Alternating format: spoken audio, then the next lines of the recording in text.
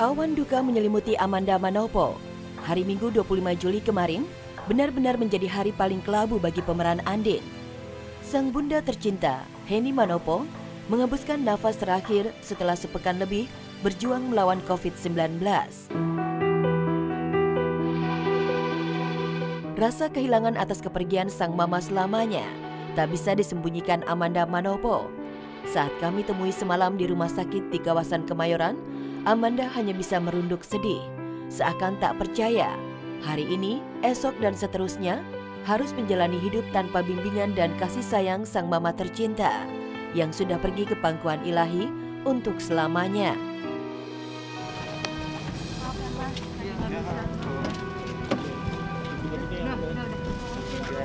surat belajar A ya oke Dan pagi dini hari tadi, kepiluan Amanda pasca kepergian sang mama terungkap lirih di media sosial. Lewat akun Instagram miliknya, Manda menuliskan kesedihan ditinggal orang yang selama ini paling berjasa dalam hidupnya. Hai Mami, kemarin dan hari ini mungkin hari yang berat untuk orang-orang yang sangat mencintai Mami. Sangat berat buat Manda, Mi. Tapi sekarang Mami gak perlu ngerasain sakit lagi. Mami gak usah khawatir ya. Manda, Angel, Dedi akan jaga satu sama lain. Jadi Mami gak usah khawatir ya, Mi. Mandanya sangat terpukul sih dari kemarin dari kemarin dia nangis mulu selesai pemakaman pasti nanti Manda akan jumpa sama wartawan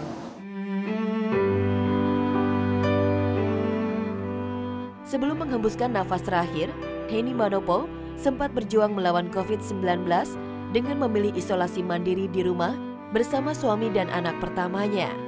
Tapi kondisi almarhumah makin kritis lantaran mengalami stroke akibat penyakit diabetes yang diidapnya. Sementara Manda memang satu-satunya anggota keluarga yang negatif COVID-19 lantaran tinggal di lokasi syuting dengan prokes yang sangat ketat. Dari lokasi syuting, komunikasi dan doa Amanda tak pernah putus untuk orang yang ia sayangi. Sampai semalam di lokasi syuting aku nemenin Manda, nguatin dia terus. Hari Sabtu kemarin nggak video callan, cuman aku ke sini minta tolong sama susternya buat ngerekamin gitu. Mami ayo bangun Mami, ini ditunggu sama keluarganya, tapi kan Mami koma. Namun sayang seribu sayang, di saat Amanda mereguk manisnya di puncak karir, Henny Manopo justru sudah tiada. Padahal diketahui rumah megah yang disiapkan Amanda untuk sang mama sebentar lagi rampung. Tak cuma itu, si pemeran Andin di sinetron Ikatan Cinta juga harus menahan pilu karena ia belum sempat memberikan kalung berlian yang sengaja ia beli untuk sang mama.